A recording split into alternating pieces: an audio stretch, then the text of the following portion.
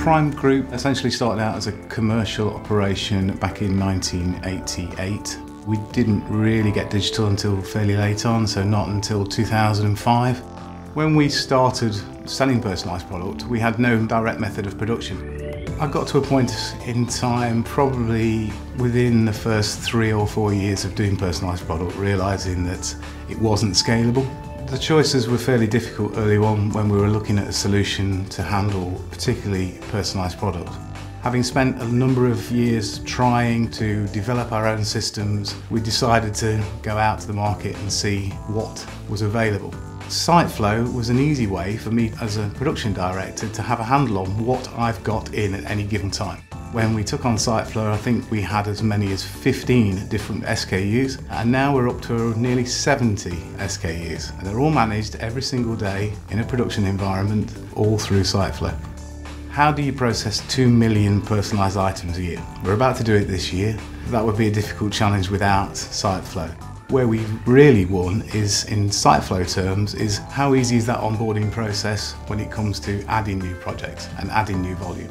It's quite a powerful sales tool when we can go to a client who's having to deal with the development of a new product. So if we get on the journey fairly early on with those clients, it's nice to know that they've got a production partner in the background and just take care of everything else. And that taking care of everything else is, here's our API set, when you're ready, just deliver us something down and we'll, we'll go off and test it for you. We'll get the challenge right, we'll get the onboarding process right, and we'll get the daily production of it right with SiteFlow. We can report back on how we did with SLAs. We can go back with all that metrics to the client and say, actually, we're doing really well. We delivered your job.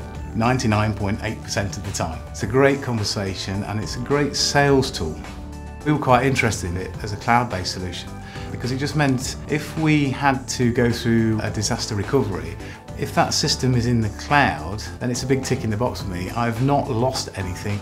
There's also many other benefits by using SiteFlow from a customer point of view. If they've got more than one product on sale at any one time, with SiteFlow, we can consolidate those items. So the customer ultimately takes the benefit of not only the savings in production time, but in process time and in delivery.